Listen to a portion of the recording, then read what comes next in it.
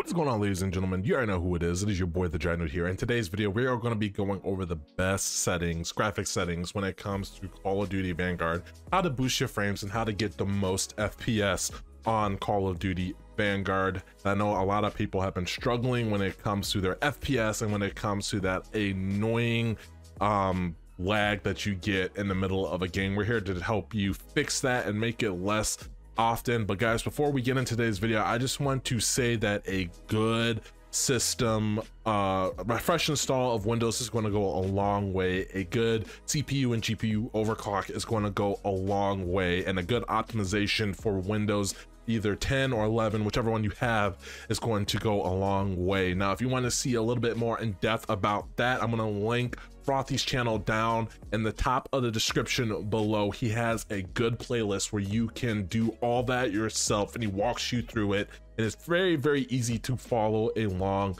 And then come back and watch this video because it's going to help you out a lot. Now some of the stuff that he does is going to be in this video so credit to him because he tests everything. He's one of the few guys that test everything, latency and all that. So we're going to get right into this today. And the first thing you're going to want to do is you're going to go into your NVIDIA control panel. Now this is going to be very important. And these are the settings that I am using right here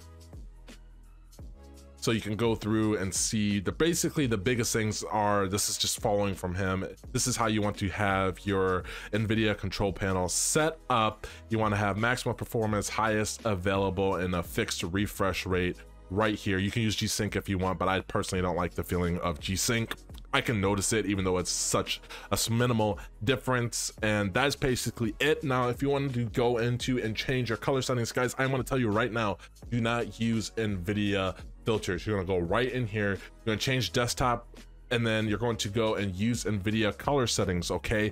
Highest available 8-bit BC, RGB, and full. You're gonna do that. You're gonna adjust desktop color settings. Now, these are the settings that I'm using right now. You can message your gamma. I have the Alienware 240 hertz 1440p monitor. I'm on 1440p and this makes everything just pop and it's going to help you out a lot. So you want to make sure you have these settings right here. Next thing you want to do is you want to go down and you're going to go into your documents, okay? Wherever you have your documents at, you're going to go to your documents. You're going to go to Call of Duty Vanguard. You're going to go to players. You're going to go into advanced options, okay? ADV options, okay?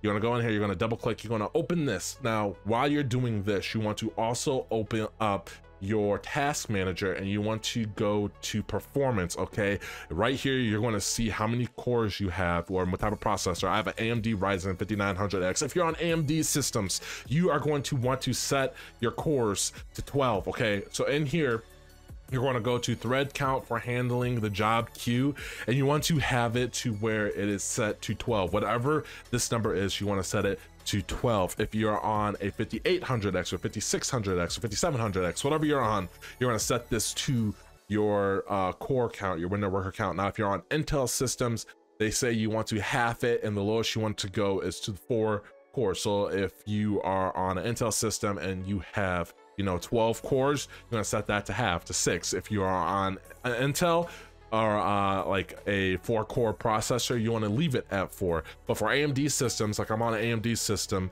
you want to leave this at 12, put this at 12, and then we're to hop over into Call of Duty Vanguard. I'm to be showing you guys the best graphic settings that you're to be running to get you the most FPS and the most visual quality for you. Now keep in mind, I'm on 1440p. If you're on 1080p, your frames are going to be even higher than what I am. So we're gonna hop right over into Call of Duty Vanguard. I'm gonna be showing you guys the best settings for that. All right guys, so now that Vanguard is loaded up, next thing you wanna go to is you wanna go to settings and the first thing that you're gonna go to is interface, okay? And you're gonna scroll down until you see crosshair bobbing. You want to make sure you turn this off. If you ever feel like your aim is kind of off in this game, make sure you turn off crosshair bobbing. That is going to go a long way. Now, the next thing we're going to get into is the graphics. You're going to first go to gameplay here. Your field of view is whatever you want to play on. Your uh, ADS field of view is going to be unaffected for me, but you can do independent, whichever one you are comfortable with. Most important thing here is camera movement world motion blur, and weapon motion blur. NVIDIA uh, reflex low latency, you want this on boost, but you want these two on off, and you want the camera movement to 50 per negative or 50%. You want it basically the lowest possible. Next, the next thing we're gonna go to is we're gonna go to quality here. Have my render resolution set to 100. 100. If you guys are struggling on frames or if you're on a really low system, you can drop this down to like 75%. I wouldn't say go below 75, okay?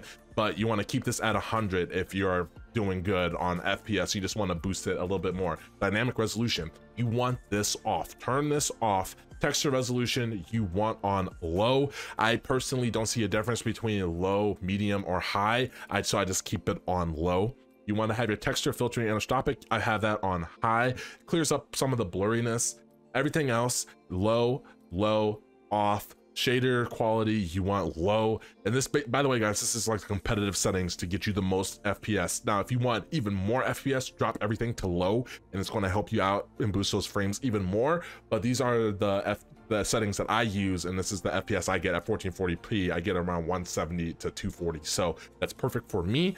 Um level of detail render distance i have on standard. You can put this on short.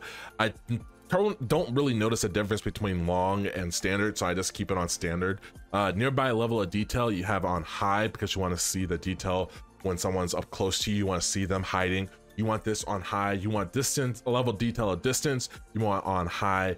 Uh, clutter draw distance I have on short. Basically what this does with it on short, it doesn't have that much as you can see in the picture there's less of this flower scene so you can see someone back there and there's more here. So i have this on uh, short. Um i have this one on low because i don't want lighting that yeah that we don't want that. Screen space reflection and shadows you want on off. Shadow map resolution you want very low. Sun cast you want this on low. Cache sun shadows and cache spot shadows you want on on uh spot size you want or spot cache size you want low spot shader quality you want low and particle quality you want low ambient occlusion you want off make sure that is off off off uh nvidia DLSS you don't want that on. Now here's where the huge game changer is that's going to make your game look that much better. Fidelity CAS um basically you want all of these in nvidia DLSS and fidelity super resolution. You want both of these off and you want to turn on fidelity CAS and what that basically is going to do is it's going to make your game look that much more sharper that much more crisp and it's going to make the game look totally different. It's going to feel like you're playing a different game and it really does help out. Even at 1440p at 1080p you guys are going to notice this even more and it's going to look that much more crisp. You'll be able to see people.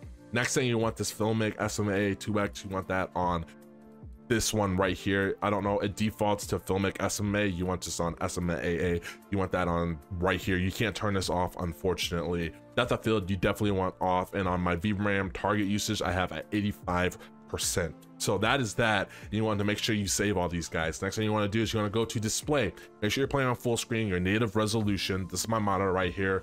My refresh rate is the highest it can go 1440 uh 240 hertz. Uh vsync i have on off vsync menus i have off. My frame rate limit is custom. I have it set to the highest and i just limit my end game frame rate from the menus to 60 and then out of basically when i alt tab i have it at 30 so there's that. Aspect ratio i kept on automatic brightness. Now here's another thing. I kept that at default. Basically if you go too high with this it's going to look really washed out. So i keep it at the default 50 and it looks just fine. Um i don't play with hdr my display gamma is srgb um 2.2 that's what i play on. Um hdr i have off focus mode you want on off. Display adapter is basically your graphics card and then basically on demand texture streaming. You want to go in here make sure you turn this off. You do not want on demand texture streaming on. It's going to help you guys out so much when it comes to the latency and when it comes to that random packet loss that you get in game turn this off it's going to fix it. It's a lot better trust me. You want that off. And guys that is pretty much it with everything um we can go to gameplay back here. We can go to color. These are the color settings that i use with my monitor and it looks the best for me. So if you guys want to copy these color settings you can do that. I basically the enemy color is on this one. It's default but basically you can put that on red or on i know in black ops cold war i had it on purple. I also like that.